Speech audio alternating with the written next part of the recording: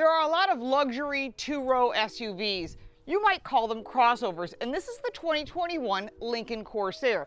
It has some cool packages on it, and it's got some amazing value, and we're gonna show you some information the dealer's not gonna tell you.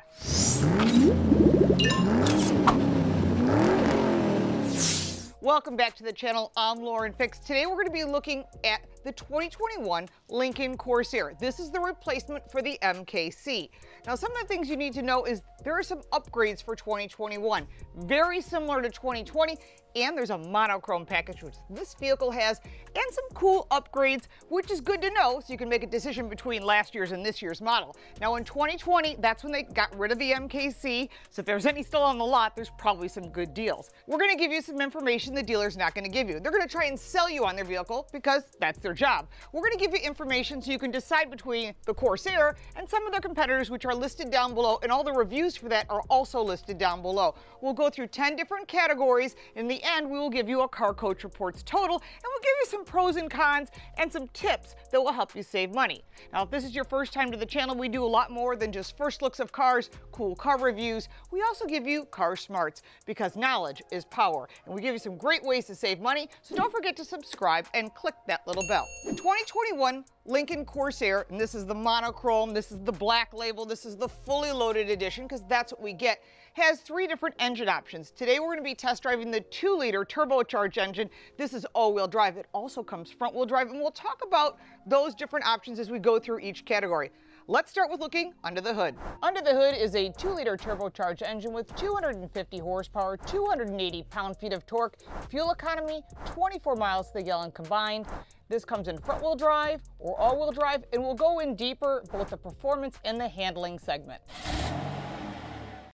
Putting it into excite mode, 0 to 66.7 seconds with this 2-liter engine. Here we go.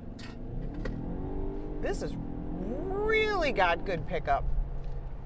You know, I, I, have to say, this is important when you're looking at a two liter turbo. There are other options available. There's a hybrid, there's uh, also, of course, a 2.5 liter engine. All the engines in this vehicle have really good gearing in the back. And so, this is what you need in order to get going. When you buy horsepower, people think that's the number, but really it's torque that gives you that get up and go. And that's what's really important when you're looking at the performance of a vehicle and you're comparing it to the other cars in this class.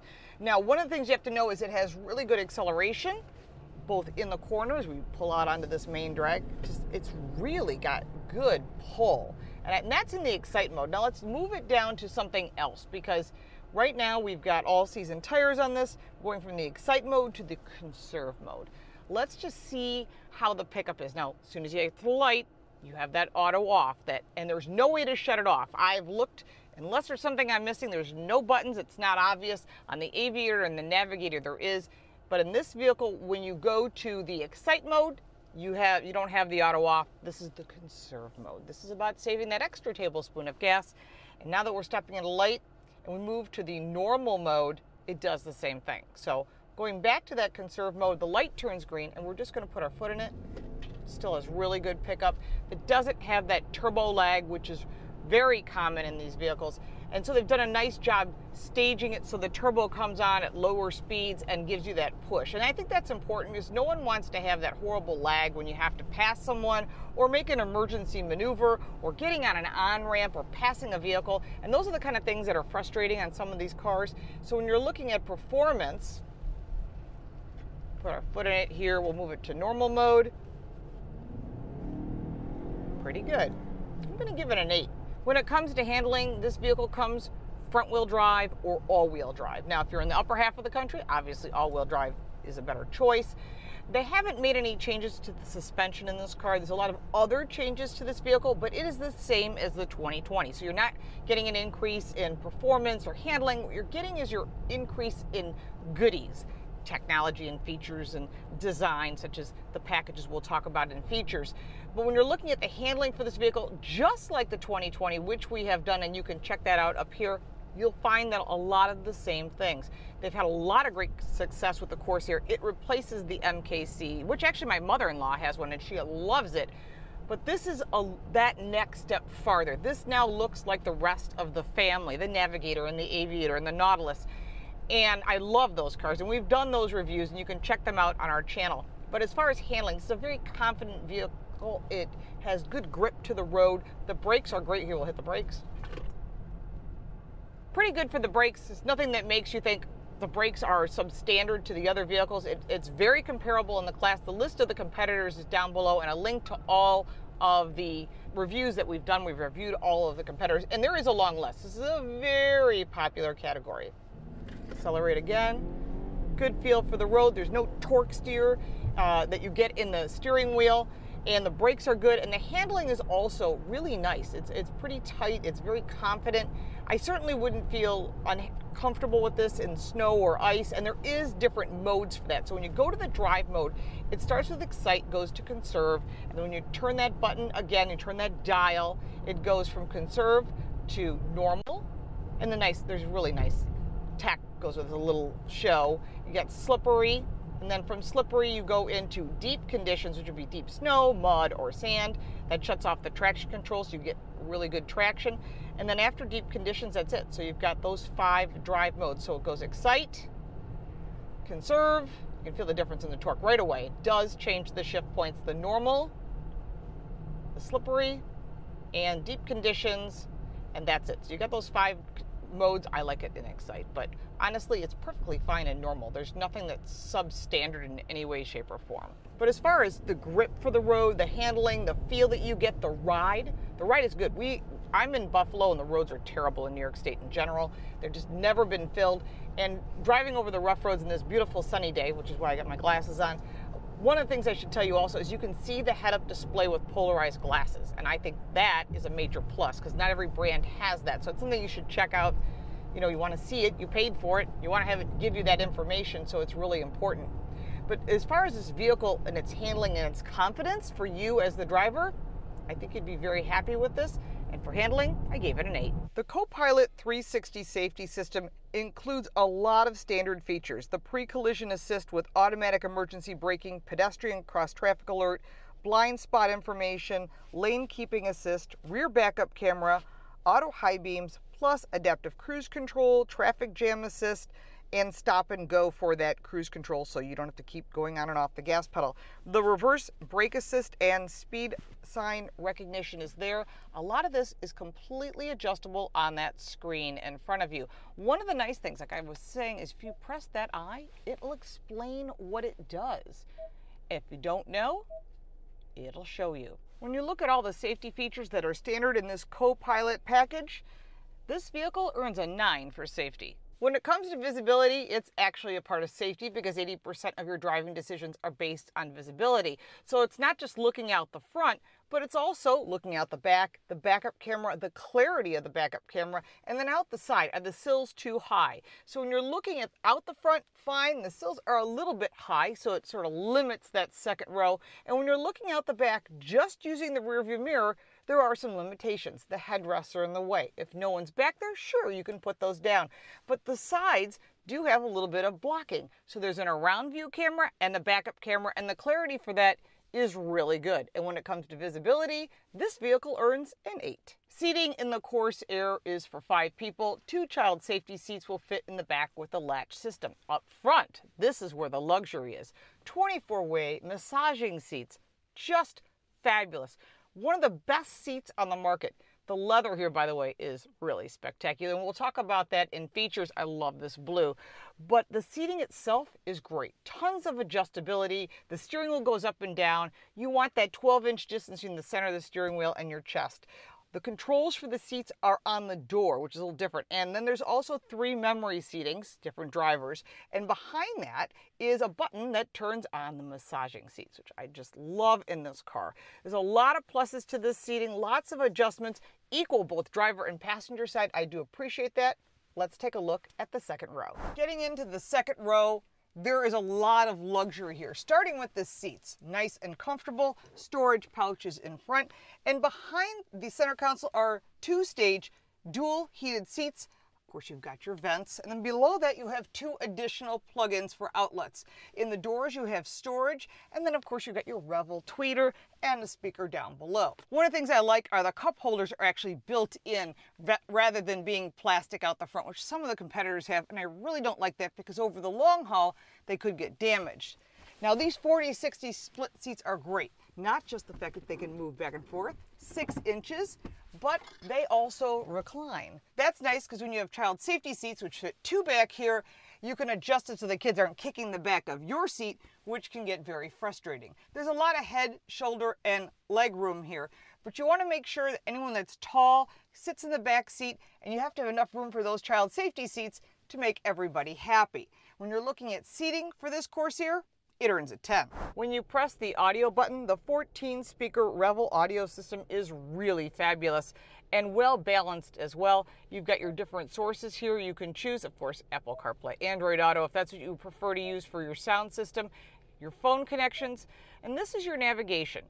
Again, it's a little bit dated, but most of us are using our phones. It is simple to use and it also has Waze built into it, which I really like. When you purchase the vehicle, you'll download the Lincoln app. Pressing apps, and you'll get to connecting your device, finding your mobile apps, and your Sirius XM link. This is pretty normal for most vehicles, but what else you get is your phone is your key, and that is part of the Lincoln app. You can start the vehicle, open the doors, hit the lights, and find out additional information. Everything's pretty simple to use. That's that Lincoln Way app, and when you connect that up, there's a lot of additional information you can use Again, there's your Apple CarPlay or display. You can set this up any way you want. Standard Wi-Fi, which is really great, and that's become pretty normal in these vehicles. When you press the seat button, like I discussed in seating, there is a ton of adjustments, 24 different adjustments, and then you get and pick the intensity that you want of all different areas from bolsters and thigh support.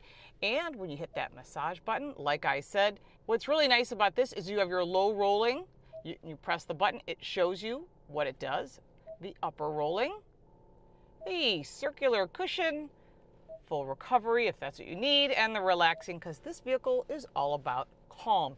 The passenger has that same option as well. When you hit the ambient light button, you get to pick the color that you prefer. What calm color would you like? Do you want to match the color of the car or do you prefer something a little bit different? Really neat, nice choices, and it's kind of fun to play with as well. One of the things that Ford and Lincoln have added to their center screens, if you don't know what it does, there's a little eye here. You touch the carrot and it'll explain to you what this feature does. And I think that's great and it's all the way down including the My Key, which has a setting for new drivers, the onboard modem, serial, whatever you might need is right here. These are great features to help you understand your vehicle and get the most of the technology that you paid for. One of the additional technologies is the Active Park Assist Plus, which removes the stress from parallel parking, perpendicular parking. It does the steering, the shifting, the braking, all the acceleration to get you in and out of those very tight spots. And it really works well. And Ford was one of the first people to bring this to market. When it comes to technology, this vehicle earns an 8. One of the nicest features is Ford has put the speak to talk right there on the steering wheel and say a command like call Stephen FM 88.7 or the Sirius channel name to navigate to an address or point of interest, say find an address or find a place. For a list of commands, say commands. Going to the right side of the steering wheel, this is your pages. This changes the information that's directly in front of you as you press the buttons and the first button that comes, that first little bullet point goes to the calm screen, which doesn't give you any information. I prefer to have that on again. That's personal, allows you those choices. This little joystick right here changes the information. This would go for navigation, which will put the navigation information in front of you. You can go back as well. This allows you to go to music, which will be information right in front of you and then your phone, and then your settings by just pushing that little joystick down. That includes the controls for the head-up display, which is very large and has a lot of great information that you might need. On the left stock, you've got your regular turn signals, headlights, and one of the safety features right there for the lane departure warning. There is also a paddle shifter here. I don't know who's going to use it, but it's there. On the right stock, you've got your wipers, and the end of that stock is your rear wiper, and this is the plus of the paddle shifter. At least it's there and you have it if you really need it. There are 10 exterior and 5 interior colors. All these materials are nice and soft. I really love this white birch. It's really pretty. Real stitching also, which is nice. All the materials are really top quality. Vents and your lighting system here, as well as opening up the trunk. Moving over to the door, you've got your audio system, your three memory positions, your massaging seats, which is great, All your seat controls are here, and then this nice chrome mixed in with this black. All your normal controls are here on the door and storage in the door. Your engine start stop is right here, really easy to see, and of course, very stylized. I like all the chrome trim, they did a good job. We did talk about this screen in the technology, but I wanted to show you one thing in this audio system. This is the Revel audio system and you go to the bottom and you actually get a little experience.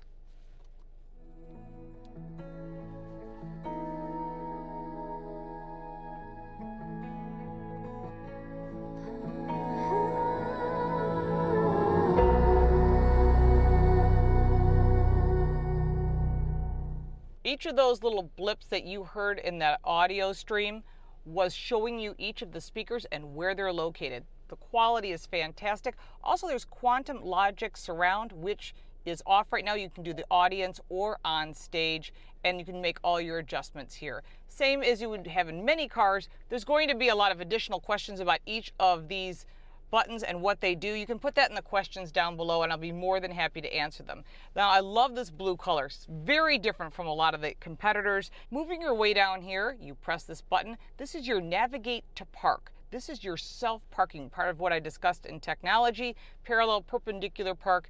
It'll do it all for you. Really nice. It'll actually help you find a spot as well.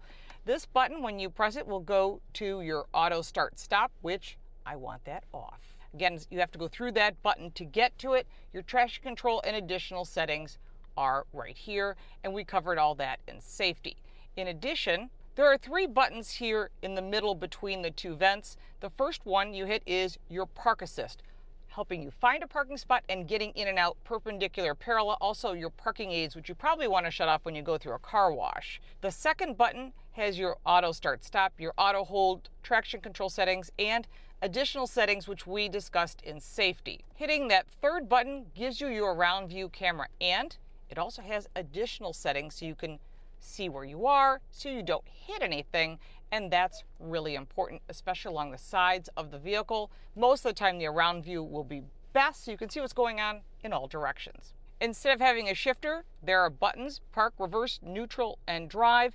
Then going further down in this piano black, I'm not a big fan of this. It gets a lot of fingerprints and a lot of the other brands are starting to get away from it because of just that. You've got your standard audio controls here in case you don't want to change that center screen and then you've got your controls for your air cooled three staged, your heated three staged, and then of course your heated steering wheel and your regular controls for your climate. Very easy to use. Adjust your temperatures here. Looking at the center console, slide this little cover back and you've got more outlets because there just isn't enough in this whole vehicle, including a 12 volt USB, USB-C, two cup holders, this is your drive mode, which I think is really cool. We showed that to you in handling. You just turn that button and everything has a little presentation in front just to make it fun.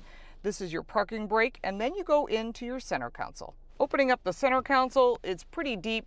There's storage, and this is your wireless charger right here. You can just put your phone right in that little spot and it will charge. I love this gigantic panoramic roof. It's really impressive. It opens and it's two stage. And when it comes to features for this vehicle, there is quite a bit, especially the black label program. All in total, it earns an 8. Our Corsair has the monochromatic package, which is an additional $1,600. However, this is a really pretty special paint, and it's an additional $695 on top of the price of the vehicle. You need to start adding these things up because you'll see as you add up each package, it can get expensive. But I really like the fact that the grill matches the color of the vehicle. It makes it really classy and very modern in design. It has a nice flow. The Lincoln logo here is not in your face like we see in some of the other brands that are competitors with these huge logos. Very nicely done and a nice chrome surround. The headlights are LED, and when you work your way down to this lower grill, it's shiny. Typically, they put a flat color here, so if it gets dirty, you don't see it. And you can see there's a little bit of dirt on here from just test driving this vehicle, so it does a nice job of masking it because it's white. If it were a black car, it would probably be pretty obvious, and that's up to you to choose the colors. There's quite a few of them, and remember, the black label has a special selection of colors on top of that, as well as interior colors and different personalities. When you hit the unlock button and you're looking for it in a parking lot, these marker lights turn yellow just to kind of let you know, hey, I'm here. But it's also inviting because the side mirrors unfold and it makes it ready for you. Nicely done. You see that a lot in this luxury crossover segment, just these little niceties that make it nice in design. Part of this monochromatic package is these black wheels. Although it would be kind of cool if these wheels were available in body color. That would make it really modern looking. But these are 20 inch rims. They ride on all season Continental tires. There are some neat details as you move your way back. One of the really cool details is this Corsair logo on the side. It's clean. It's very much a throwback to the Lincoln design of the past very modern, but yet very classic. I like the white with the chrome, very classic. And then you move your way down, we'll hit that unlock again. You can see that there are marker lights here that are on the side mirrors. They also let you know this is your car. Moving your way back, you can see these roof rails. They're very low profile, but on top is a beautiful full panoramic roof, and we covered that when we were on the inside of the vehicle. I really think they did a nice job making it very fluid. The lines across here are really nice and clean, and then there's a highlight color here that's not chrome. It's a flat silver, and it does a nice job breaking up some of the white here because there's quite a bit of it. When you come around to the back, this upper wing is really nice, and the third brake light is integrated. One of the things I don't like is this wiper arm. It should be tucked up underneath. You see that in the Cadillac and some of the other competitors, and the reason I don't like it is one, it's hard to get underneath it if you want to clean the glass, but it also gets damaged when you're using an ice scraper if you live in the upper half of the country. The Lincoln logo across the back is clean and modern, and I really like when you hit the unlock button, you can see this full line of lighting. It's all LED and the lower marker lights. Really nicely done, very clean, and real dual exhaust with this lower valance. Very clean, very nice, and when you're looking at the design for this Corsair, it earns a 9. When you're looking at the quality of the Corsair, it's Lincoln. It's going to be Ford's premium line. On top of that, you're looking at top quality paint, top build quality materials, built here in the U.S. I like the interior materials. The leathers are top quality. The materials that you see, if it's real wood, it's real wood. And they've done a nice job picking a nice balance of colors as well. There's a four-year, 50,000 mile warranty, and the quality of these vehicles, especially as they've been on the market for a while, have been really great. And so for quality, we gave it a nine. Open the hatch and you have 27.6 cubic feet of storage fold down that second row and you're at 57.6 cubic feet of storage, which is a little bit more than some of the competitors. Also, one thing I should note is there is a spare tire, but it was extra and I think it should be standard because a lot of people don't like these tire inflation products. That is right under here, easily stored. There is also hooks in back, more storage, and a way to fold down that second row.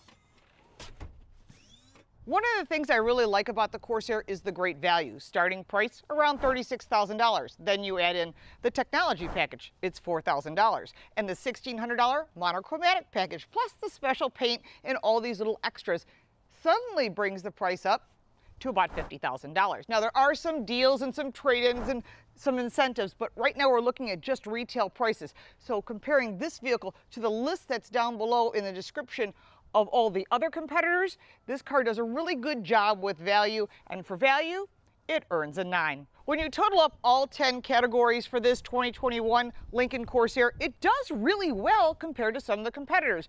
The pros, the technology is great. I wish the screen was a lot larger. The seats, spectacular, but they're extra. 24-way massaging seats, how could you go wrong? Plenty of comfort and the design is really impressive. I do love this black label package. This gives you all that concierge when you need service. They come and pick it up, they give you a vehicle and they bring it back. That's the way Lincoln wants to do things because they want to show how premium their product has become, a big change from the past. Although there are some pros and cons that we discussed along the way, you add up all 10 categories, this vehicle earns an 86.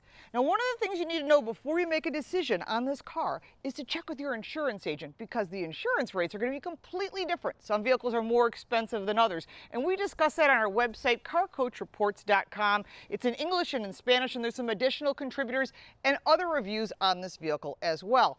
If you got value from this video, make sure to give it a like and a share, and if we didn't answer your questions, because we could go on for hours, put that in the comments down below. I will answer your questions because I want you to go into the dealership and be prepared to make a decision, and this will help you. If you like cars, you'll love our podcast, Total Car Score. It's on all platforms. We give you some information that no one's heard because we bring executives on and internal people, and we get some information out of them that no one else has heard.